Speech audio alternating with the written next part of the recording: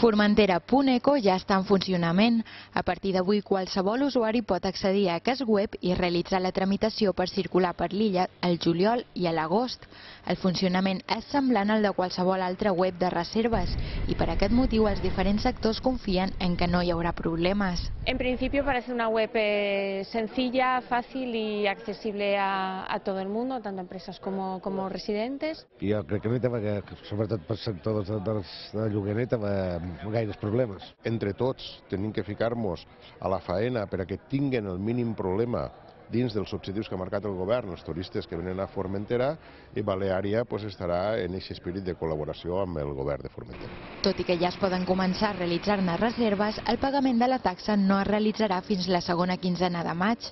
A més de la tramitació del permís, els usuaris podran trobar en aquest web un apartat amb les condicions especials, un sector amb tota la normativa d'aquesta llei i fins i tot una secció on es podrà comprovar si un vehicle té o no permís per circular. Hem intentat que sigui molt àgil, molt fàcil d'utilitzar, que estigui en diferents idiomes i que l'experiència de venir a Formentera doncs, no es vegi entorpida per un tràmit burocràtic, sinó que des del primer moment, quan una persona decideix passar les seves vacances a Silla, doncs se'n senti que, que està anant a un lloc especial. En els propers dies el web estarà disponible en sis idiomes diferents per tal de fer-lo accessible a tots els que ens visitin.